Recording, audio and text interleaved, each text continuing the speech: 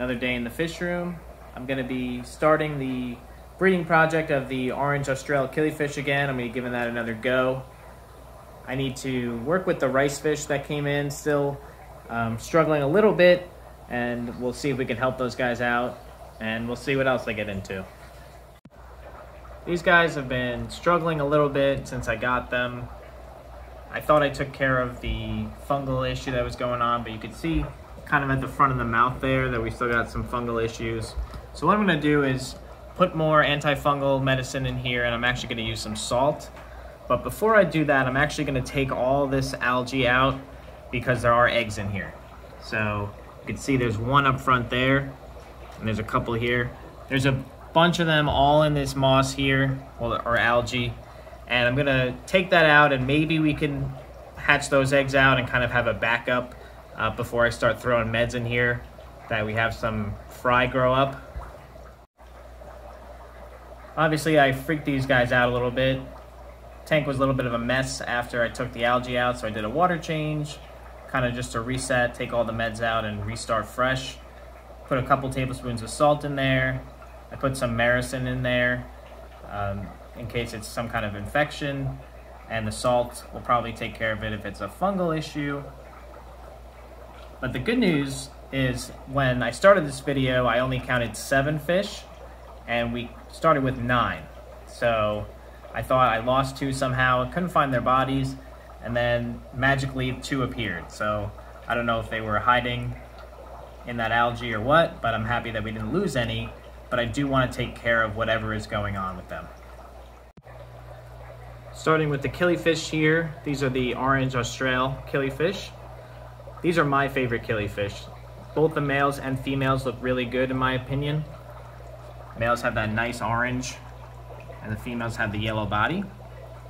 And the reason I want to make sure I breed these guys is actually because this female here. She's got the black on her body, which I've never seen before. None of the other females have it. I want to keep that trait and possibly pass it along maybe over time, you know, over years of breeding them, we could develop some kind of patterns on the female with black and yellow. I think that would look awesome. If not, these guys still are looking really good. A little bit of backstory on these guys. I did breed this group. I started with a pair, bred a bunch, sold them. These are the ones I kept. I tried to breed them again, and for some reason I was getting like one or two eggs. Couldn't figure it out was feeding them, did all water changes, everything was fine. And then one day I realized that they actually had Cal redworm. And actually both these tanks had it. And same story with these guppies. For some reason, you can see that one, she's an old, old female there. She's almost two years old at this point. But I had these three females here. Couldn't, couldn't get them to drop any fry couldn't figure out what it was. Had them for months and months. They also had Camallanus redworm. As soon as I treated both these tanks, these guys dropped fry. So all the fry are in here now. So I'm hoping that after treating these guys, I've treated them twice over the last three months. Almost certain that they're clean of the parasite. They're eating really well. Bellies are filling up. I have a spawning tank set up for them. First thing I'm going to try is one or two males and all the females. And if I don't have luck with that, I'll try just a pair because I've had luck with that in the past. If I don't have luck with that at all, I'm going to assume either these guys are too old, which they are pretty old at this point, maybe two years old also, eh, more like one and a half years old.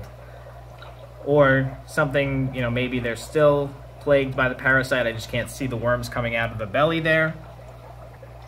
But if I can't get eggs from this group, unfortunately, I think I'm just going to purchase another group. Still keep these guys because they're really pretty. This tank, I really like the scape. I just haven't scraped any algae off the front. Uh, it's just eco-complete with a random uh, aquascaping rock and some pogo stem and stellatus octopus. Really like this guy, these guys' behavior. Really pretty fish. Um, I'll keep this group separate and maybe I'll order in some new ones. Hopefully we don't have to do that and I can keep this line going, but we'll see. Here's the breeding setup. It's a 10 gallon. We just got a sponge filter in the back. No plants in here, just the acrylic spawning mop that I made. Just so that they have nowhere else to spawn except for that mop, where I'm going to be taking that out and looking for eggs. I've had problems in the past where I tried to spawn these guys in tanks with a Matten filter, and they would actually lay eggs in the Matten filter because it was a uh, taking up the whole back there, and I guess it was more appealing to them than the spawning mop. So hopefully the sponge filter isn't an issue. Haven't had an issue with that in the past. I'll be feeding these guys bloodworms and all frozen bloodworms, frozen brine shrimp, live baby brine. Really fattening these guys up. I've already been doing that for the last couple days, but now that they're in the breeding tank, maybe they'll start laying eggs on there. I'll check in a couple days, and if I don't see any eggs, I'll have to change things up, maybe pair them off. You know, most fish, when you move them into a new tank, you grab them in a net and throw them in a new tank, they would be stressed out. Killifish, they don't care. I just threw them in here, new environment, and they're ready to eat already. So really good sign. I don't have to worry about these guys acclimating or anything. My favorite tank in the fish room with my favorite strain of guppies is finally doing well again. You can see that we have a bunch of activity in here, many different ages of fry, which I love to see. The adults are doing well. And it was a little scary almost losing this colony, but to build them back up feels really good. What I need to do today is take out all the fry that are in this breeder net. They're definitely big enough uh, to not get chased down and eaten by the adults and put a new female in. And I figured I'd show you how I know which female to pick, which one's the closest to dropping. Looks like it's this female right here. And if we take a close look at her, her belly is almost boxy versus just being round. And you can see the, the back here with the reddish pink. That's the eyeballs of the new fry yet to be born. So she's really close to dropping. Let's see a female that's just round belly instead of boxy. See this female is more rounded instead of boxy. I don't know if it's coming well on camera, but in person, I you just know the look. And usually when they box out like that, it's usually a day or two until they until they drop fry. What I like to do is put the female in here and I'll throw frozen adult brine shrimp, bloodworms, um, food that's really going to fill her up so that she's not hungry. She'll still pick at some fry, but if she's really full, uh, she usually leaves the majority of them alone. And I try to check as often as I can and make sure that I don't leave the fry in there too long. So, really depends. And sometimes I've made really good timing. Another time I waited too long, I didn't notice, and she ate all the fry. Something else that's exciting about this tank is that the male guarding the cave is actually one that I had bred and raised in this tank. Oh, and actually, I'm just noticing now, looks like there's some newborn fry, or maybe a day or two old, hiding in this corner. These are smart guys. They know if they, at this size, if they were swimming out in the middle, they definitely get picked off. Leave it to the guppies to steal the show here. But I'm really excited to see one fish that I had bred is now trying to spawn, now old enough. I think they're about eight months old, nine months old at this point. And that's really what you want to do as a breeder is get multiple generations into your water. With guppies, it's a lot easier because their life cycle is a lot shorter. You can have multiple generations within a few months. With the plecos, it's a lot harder just because the grow out time is longer. Next door to that tank, we have the Vienna Guppy tank. Figured I'd give an update on these guys. A lot of you guys are asking about them. I know you're really excited to order these guys. If you haven't done so already, you can sign up with the with your email on the website to be notified when I do post them. I think I'm going to post them after New Year's. My last shipping date is probably going to be um, second, first, second week in December. Just because everything with Black Friday, uh, the shipping already, because the pandemic has been insane. I don't want to risk any fish getting delayed in the mail because of the extra holiday rush of shipping. Post office can barely handle it as it is.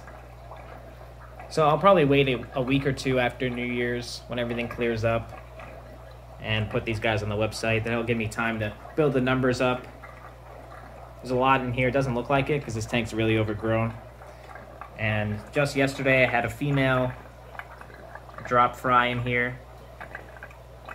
There's maybe 20 or so in this breeder box.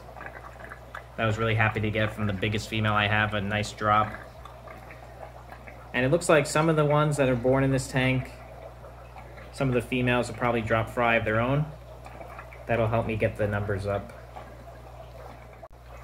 Check it out, guys. A nice little surprise here while I was working in the fish room. This trout goodeid, or Ilyodon furcidens, is actually giving birth right now. And you can see what I was talking about before, where they give birth. It's almost like a dolphin or a whale, where the tail sticks out there. And you can see that these fry come out really big. Not like guppies or platies or mollies. And they'll have a few fry. Really cool to catch that in action. I was hoping to at some point. You could see that the previous drop, you know, are, are much bigger now. All these guys over here, we got the two males here. Really cool to see. Here's the upgrade to the fish room I was talking about. I'm really excited about it. It's a commercial dehumidifier. When you guys support the channel, uh, purchase from the website, subscribe, all that stuff, it allows me to make upgrades here in the fish room. Right now, the dehumidifier that we're running right now is always running, and it's not coming up on camera, but right now it's 66% uh, humidity, which is too much. It's struggling all the time. It's always on. Um, we have a lot of water in this fish room. Even though we do have lids and stuff, there is a lot of evaporation. So this commercial dehumidifier actually runs um, 140 pints a day that it'll remove from the air. So much more than the current one we have. So I'm really excited to get this going. I'm hoping that it also produces some heat and helps heat the space a little bit. Kind of get a two for one there. I picked this one because it had really good reviews uh, and it doesn't look like a commercial dehumidifier. There are a lot of options out there that you can tell right away. Those are clearly commercial. But these two don't look that different. Uh, they don't take up, you know, this one doesn't take up a lot of room like some of the other commercial ones were. And if I didn't tell you that the one on the right was commercial, you might not know. So hopefully it performs really well. I'll let you guys know, keep you updated. This thing is a beast. I'm excited to see how long it takes to get down to, hopefully we get below 50% humidity. It's already moving down, we just saw a change. That was another day in the fish room. Thank you guys so much for watching. Subscribe if you haven't, and we'll see you in the next one.